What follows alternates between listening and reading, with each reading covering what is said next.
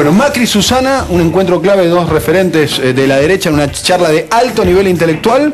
A propósito, pueden llegar a compartir fórmula, ¿eh? imagínate, Macri y Susana. Macri y Jiménez muy fuerte. ¿Quién va primero? O inclusive, o inclusive pueden llegar a ser pareja. ¿Quién va primero? Ponele joven, vago, digamos, es como el perfil que le gusta a Susana. gusta, ¿eh? Me O no, es joven y vago como Macri. Bueno, estuvieron ayer en el programa, en el programa exitosísimo programa de Susana Jiménez y apareció de repente, digamos, hablando sobre el tema, Antonio Gasalla. Susana interna a su abuela en geriátrico por sobredosis de honestidad. Después de apoyarlo en lo de las escuchas. Viste que Macri no se sabe si puede inaugurar el, el Colón, ¿Por qué? porque lo meten preso. No lo van a meter preso, tiene inmunidad. No puede meterlo preso, ese jefe de gobierno es inmune. Después de perdonarle la defensa de los apremios ilegales. Y hoy los que están en, en la cárcel son los policías honestos que agarraron a los que me secuestraron. Esto no se puede creer. Por hacer a premios, lo llaman a premios ilegales, o sea. Pero es que los premios ilegales de que la- y, y ellos con nosotros, con el público, con el- y no les hacen nada y salen los derechos humanos y todo lo que ya sabemos. Y después de rebancarlo en la reinauguración del teatro, El gobierno de la ciudad terminó el Colón, fue No lo terminaron. El salón dorado no está, tampoco el otro del otro lado. Los baños parece que los inodoros no andan. No sabía, abuela. Todavía le falta. Y ella, Para mí no. Ayer Su invitó a Macri para recontra felicitarlo por el Colón. El jefe de gobierno de la ciudad de Buenos Aires, señor Mauricio Macri. Y creo que la idea de Jiménez era meterle una ficha tremenda y hacerlo sentir el calor del hogar a... El anfitrión que te escucha. Está terminado, ¿no? Está terminado. Terminado. Hay una etapa 2 que tiene que ver con el tema de camarines y más cantidad de salas de ensayo que hay que recuperar. Ah, ¿Notaron que últimamente la abuela de Gasalla le está descontrolando un toque el programa a Susana? ¡Posta!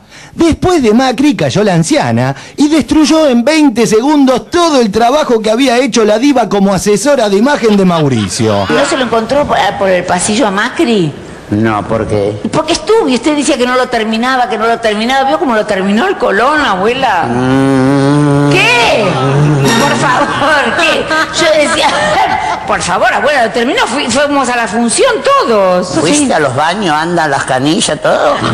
Yo al baño no fui, la verdad. Ah, ¿viste? No, pero me dijeron que el baño estaba impecable, que era, era increíble. Ahora van a ser los camarines este año. Claro. Pero, ¿por qué? ¿Usted fue al baño? No, eso es otro pedazo del teatro. Sí, pero el teatro ahora y todo eso está ahí. Por ahora se cambian en la vereda. No, los camarines, se cambian los No, camarines. bien que lo los camarines Susana, viejos. bastante Fue muy ahí. Es innegable que Susana le puso una onda impresionante a la entrevista. De hecho, gracias a la exclusiva, nos enteramos que la Argentina se había caído del planisferio y que Macri nos volvió a pegar al planeta cual cinta adhesiva.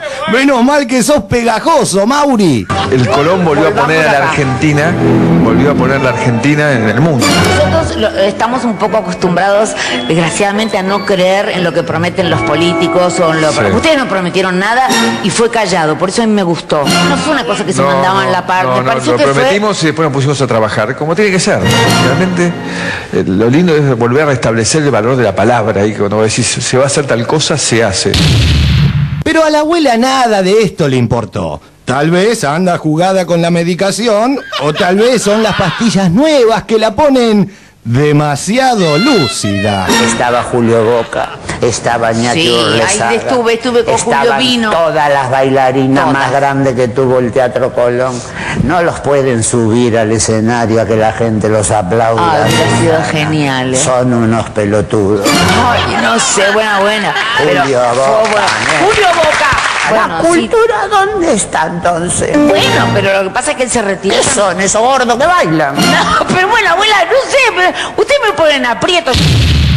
¡Uh! Y menos mal que la abuela no vio el programón que hizo TBR el sábado, porque se iba a comer un...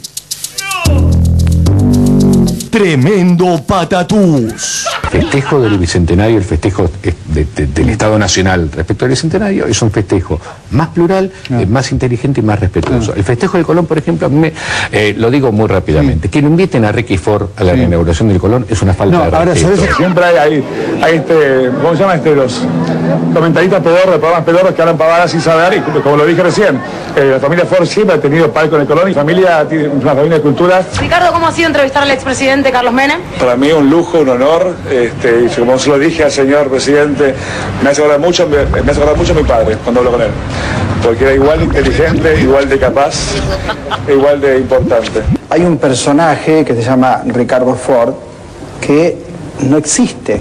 Este señor estaba en la platea del Teatro Colón y Julio Boca estaba en el primer piso. Bueno, Julio, a disfrutar de esta gran función. Gracias. Obviamente sos el número uno acá adentro, como siempre le digo, acá puedes ser, hacer lo que vos quieras. Estaba Julio Boca en el primer piso, y en serio lo digo, y en la tertulia, Daniel Rabinovich, ¿no? Del Lutier, Ciudadano Ilustre de Buenos Aires, pero obvio, abajo tenían que estar los importantes, ¿no? Ricky. claro, sí, y tantos otros. Bueno, Pero por ahí sí, le dieron la posibilidad arriba de- para escupir para abajo, tal vez eso también es cierto. Me pregunto si la abuela, en toda su experiencia y sabiduría, habrá percibido algo curioso en la actitud súper simpática de Susana hacia Mauricio. Tal vez descubrió un mensaje no tan oculto. Gracias Mauricio, la verdad, te, te felicitamos a vos y a todo tu equipo por habernos devuelto ese patrimonio nacional. Lo aplaudimos. ¡Mua! Gracias Mauricio, gracias y que ojalá se cumpla todo lo que deseamos Te quiero todos. mucho, eh, gracias. Yo también, gracias. Y me voy al escritorio, aplausos para, para todo lo que hizo el gobierno de la ciudad. Lo primero es la familia, che. ¿Y qué si tu abuela te descontrola un poco el living y lo pone en evidencia a tu invitado? Está todo bien. Al menos por ahora. Yo no pago un peso para ver esa porquería ni que me maten, Susana.